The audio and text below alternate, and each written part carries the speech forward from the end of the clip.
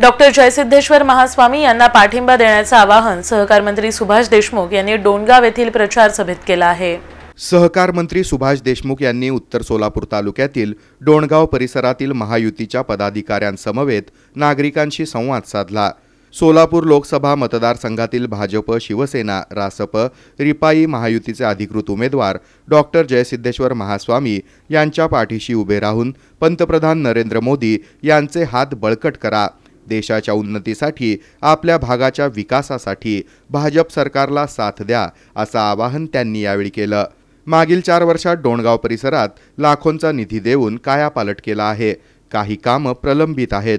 पुढच्या टप्प्यात ते देखील मार्गी लावण्यात येतील आणि असंच विकासकार्य भविष्यात करता यावं यासाठी आपल्या सर्वांच्या सहकार्याची अपेक्षा करतो असं सुभाष देशमुख यांनी नागरिकांशी संवाद साधताना सांगितलं. कांद्याचं अनुदान आहे कर्जमाफीचा विषय आहे कर्जाचे विषय आहे पीक विम्याचे विषय आहे.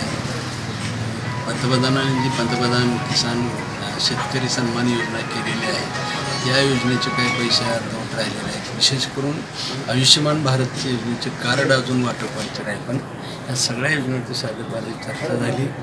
आव्हान केलं आहे की सर्व गावकऱ्यांनी ही निवडणूक ही गाव पंचायतची नसून ही देशाची निवडणूक आहे असं विनंती केली आणि सगळ्यांनी एक होऊन या देशाच्या संरक्षणासाठी आमच्या देशाच्या आमच्या गावच्या जिल्ह्याच्या संरक्षणासाठी यावेळेस आपण भारतीय जनता पक्षाचे आदरणीय मोदी साहेब यांच्या नेतृत्वाखाली सर्व महायुतीचे जे उमेदवार आहेत जय डॉक्टर जयसिद्धेश्वर स्वामी महाराज यांच्या पाठीशी खंबीरपणे उभारावं असं आवाहन केलं आहे खूप चांगला प्रतिसाद आहे. मी गावकऱ्यांचं या बाबतीमध्ये मनापासून आभार मानतो की सर्वांनी पूर्ण वेळ अठरा तारखेपर्यंत पूर्ण क्षमतेनं काम करायचा निर्णय घेतलेला आहे. आणि कोणत्याही परिस्थितीत जास्तीत जास्त मताधिक्य डोणगाव गावातून घ्यायचं ठरवलं त्यांचा मनापासून आभार. डोणगावकरांनी देखील जास्तीत जास्त मताधिक्य देण्याचं मान्य करून फिर एक बार मोदी सरकारचा नारा दिला. यावेळी सरपंच संजय भोसले श्रीमंत बणगर ग्रामपंचायत सदस्य बाबा आमले शिवसेना नेते अण्णा पाटील बाबा खांडेकर संदीप सुरवसे बाबा कुलकर्णी शहाजी तराटे चंद्रकांत जावीर शिवाजी पाटील रेवण खजूरकर आणि परिसरातील नागरिक यावेळी